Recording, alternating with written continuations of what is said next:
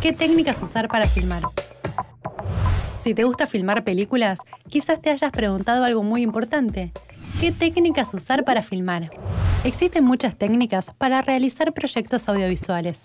Antes de saber cuál usar, sería bueno que veas muchas referencias.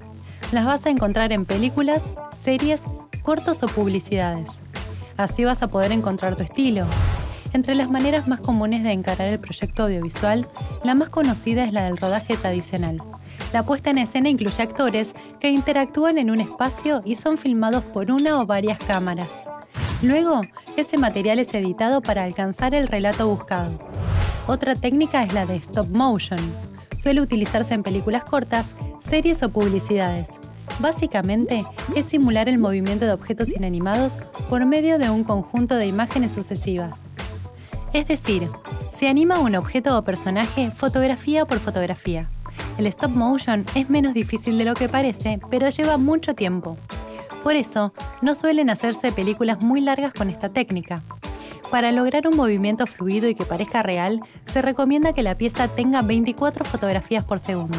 Esto quiere decir reacomodar objetos o personajes por cada foto que hay que tomar. En el stop motion es muy común el uso de plastilina, recortes de papel, frutas, piezas de madera. Requiere de imaginación y mucho trabajo, pero el resultado final puede ser sorprendente.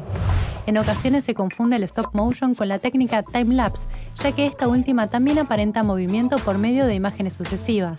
Pero la diferencia está en que el stop motion intenta reproducir el movimiento a una velocidad realista y en el time-lapse las acciones suceden en un tiempo irreal. Por ejemplo, se condensan en pocos segundos acciones que duraron horas, como por ejemplo un día entero desde el amanecer al atardecer.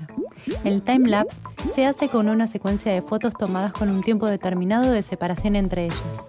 En la edición, son unidas para crear un video continuo que dé la sensación de haber sido grabado en cámara rápida. Existen tres grandes situaciones para lograr sorprendentes time-lapse.